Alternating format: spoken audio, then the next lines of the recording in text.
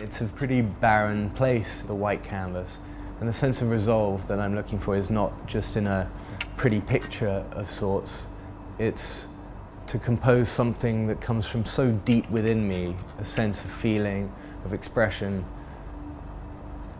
experience that I can't otherwise express, I can't get out in any other way.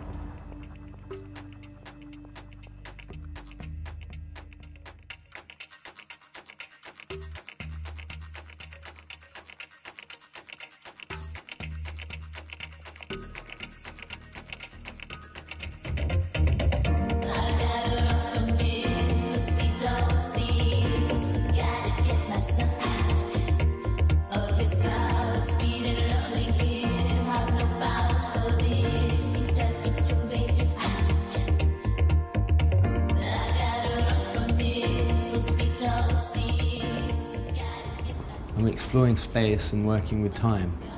And I'm using layers, layers of pigments, layers of minerals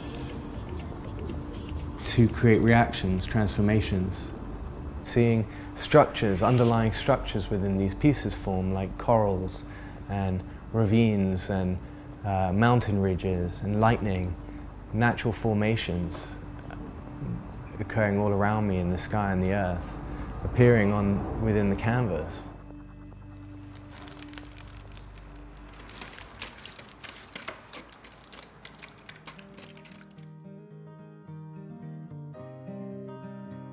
What I'm working with are some very old formulas and techniques which I'm reimagining, re-envisioning.